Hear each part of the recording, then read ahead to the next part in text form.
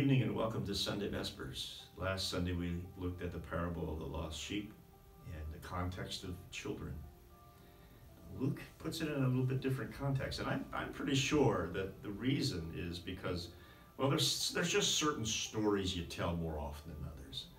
And sometimes we think that Jesus only told a parable once. And no, th these were stories that he probably repeated as he went from place to place to place. And, and so it was in different contexts that he would share the, the same stories. Um, I know I'm very careful, or at least I try to be, not to share the same illustrations and stories here in, in my parish um, that I've shared in the past. Um, though every once in a while, one is so good, you just got to pull it out. It's been years since people heard it. But, but if you're going from place to place, it's different. It's, it's a new, new crowd, new, new ears to hear it. So, so Jesus used the, the parable twice, I believe, um, at least. Most likely more often than that. I think this may be one of his favorites. Um, and in this context, in, in Luke's context, chapter 15, um, verse 1 says, Now the tax collectors and sinners were all drawing near to him to hear him. And the Pharisees and the scribes murmured, saying, This man receives sinners and eats with them. So that's the context this time of this parable. Because immediately, verse 3, it says, So he told them this parable. What man are you having a hundred sheep if he has lost one of them? Does not leave the 99 in the wilderness and go after the one which was lost until he finds it. And when he's found it, he lays it on his shoulders, rejoicing. And when he comes home, he calls together his friends and his neighbors, saying to them, Rejoice with me, I found my sheep, the one that was lost. Just so I tell you, there will be more joy in heaven over one sinner who repents than over 99 righteous persons who need no repentance. And so there's several things going on there as Jesus is addressing the, the hypocrisy of the scribes and the Pharisees.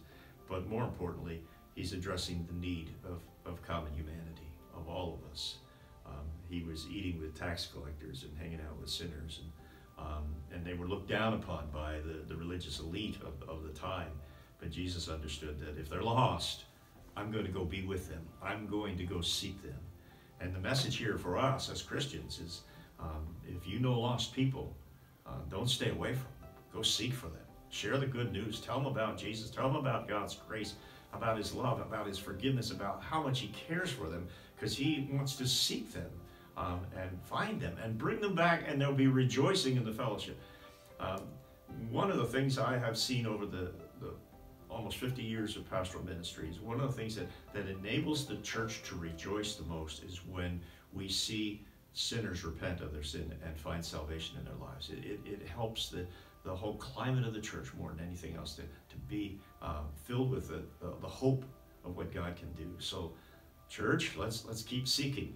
Let's go seek for folks who are lost, who, who need the Lord, and be patient with them and, and, and bring them back to the kingdom of heaven um, where uh, the Lord will receive them in their forgiveness. Heavenly Father, thanks for this very, very simple but very powerful little parable. And uh, Lord, uh, as we saw last week about um, seeking for children, Lord, uh, this week the emphasis on seeking for all those who are lost, uh, the, from the youngest child to the most seasoned senior adult, um, who need Jesus in their life, who need the salvation of God, who need new life. Help us, Lord, to be shepherds who seek as you call us to, to bring the lost to you. We ask it in your name. Amen. God bless you. See you next week.